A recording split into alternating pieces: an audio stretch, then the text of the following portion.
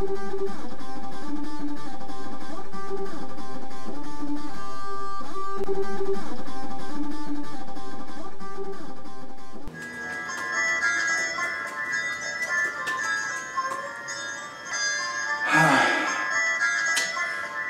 wonder what the meaning of Easter is.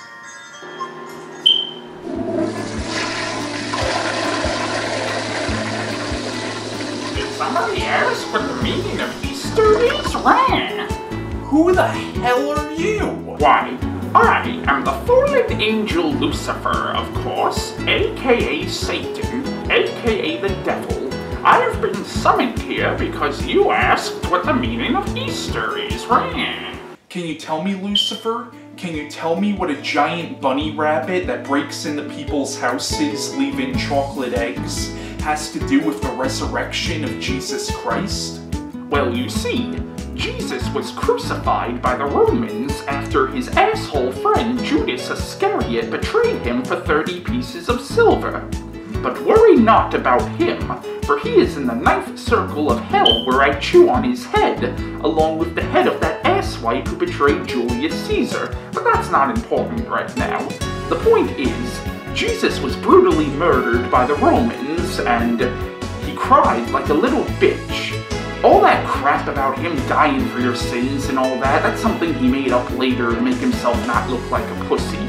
But anyway, after he died, three days later to be exact, he came back from the dead as a vampire and freaked a lot of people out, and then the angels lifted him up to heaven, and that is why we watch vampire and zombie movies on Easter.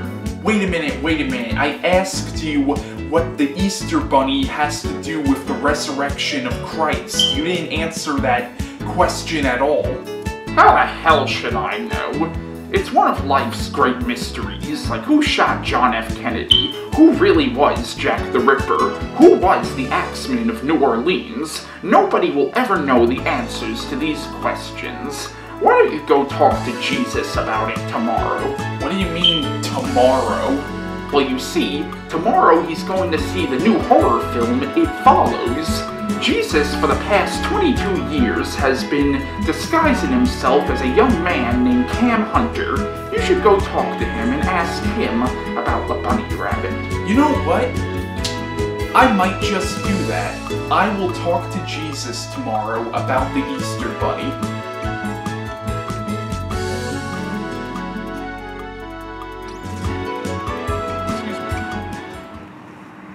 Are you Jesus? Who told you? Lucifer. Oh, for... dick. All right, what do you want? Uh, I really want to know. What does a giant bunny rabbit that breaks into little kids' houses have to do with your resurrection? Really? Yes, really. You meet Jesus for the very first time, and that's the question you ask me. Yeah. Well, if you really want to know, nothing. Absolutely nothing. You want to know what really happened? What really happened? People really weren't a fan of telling kids about my resurrection, so I decided to make it a little bit more PG. And what's more PG than bunnies giving chocolate to kids? You see, first, I had some fat red suit wearing bastard decide to hijack my birthday to help the kids PG some sort of bullshit that they were doing. And then all of a sudden, yo, the anniversary of my death was too mean for them too. So that had to go PG. I don't believe what I'm hearing. I guess I'll never know what that rabbit actually has to do with Easter.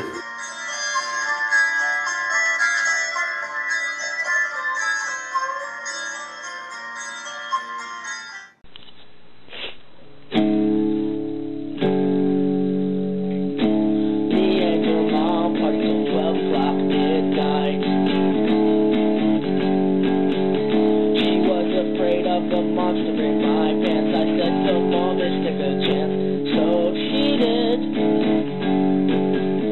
Then we went in the bathroom stall and I fucked her up against the wall. Man, that bitch could scream. I fucked her so hard it made her bleed. Then she had said,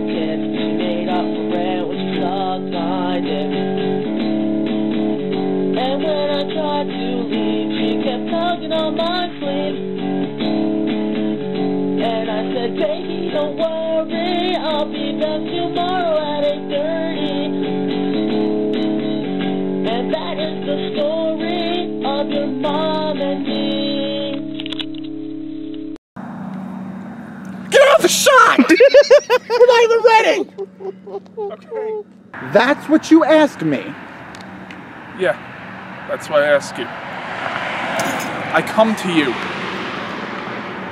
I really want to know what does the Easter Bunny have to do with you? And you coming back from the dead as a vampire? What does the Easter Bunny have to do with anything? Where the fuck did the vampire thing come from? Lucifer told me it yesterday. Jesus Christ, what other rumors is he spreading about me anyway? He also said you cried like a little bitch when the Romans crucified you. Oh!